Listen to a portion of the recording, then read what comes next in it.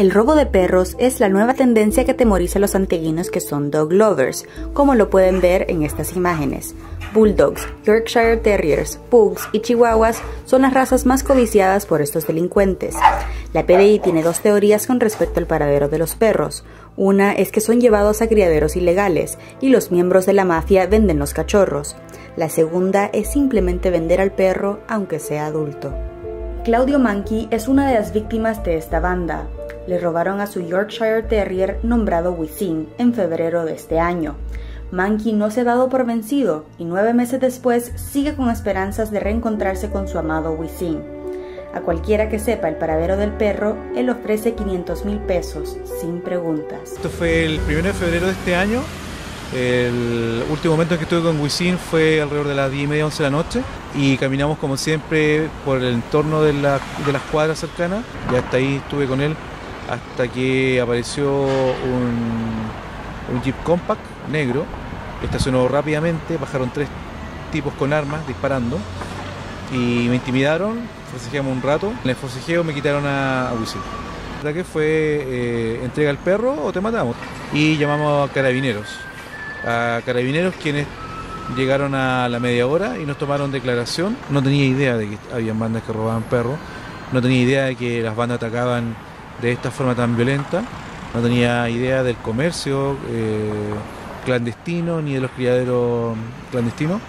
Claudio no tenía idea que hasta el día de hoy los perros siguen siendo objeto, lo que dificulta su búsqueda.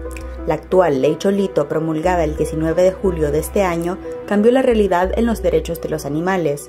Sin embargo, ningún artículo contempla la búsqueda de mascotas robadas, ya que solo habla de la tendencia responsable. Al que este tipo de delitos, cuando a ti te quitan tu mascota en un asalto, sea considerado un secuestro más que un robo. ¿Usted está consciente sobre el reciente incremento de robo de perros?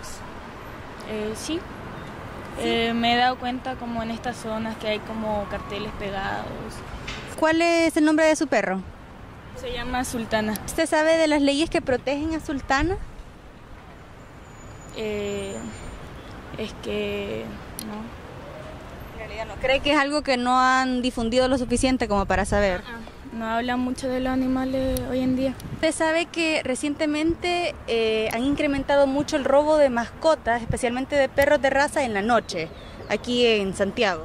Sí, por un tema de que muchas personas como tienen mucho cariño a los perros, a los animales, o lo que tengan, eh, piden rescate. Mm, por ende, eh, lucrativo igual. ¿Qué haría si le roban a Chamaca? Ay, no sé, no sé, pagaría un rescate igual, sí. Sí, es parte de la familia, si no, no, no hay de otra, es como si te robaran a alguien de la familia. Bárbara Pichina es la fundadora de la ONG No Más Robo Mascotas.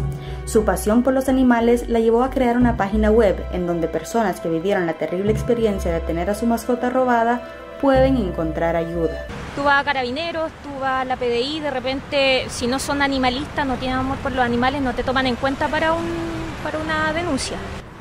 Nuestro propósito es que se haga visible lo que está pasando, que son los robos de mascotas eh, luchar para que se acabe esto que está pasando y de, pasar que ojalá las penas sean mucho más grandes.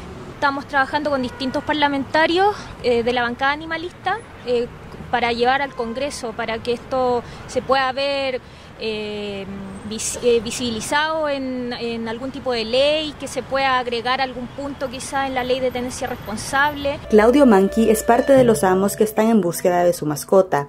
El tema es cuántos Claudios más hay, porque hasta la fecha no existe un registro oficial del robo de perros. Todo depende de la actitud del policía, ya que el perro es considerado un mueble. Hay una cifra oscura detrás de este tema. La única solución que Mankey tiene por ahora es brindar recomendaciones para que otros no sufran lo mismo. Están publicadas en nomasrobomascotas.cl.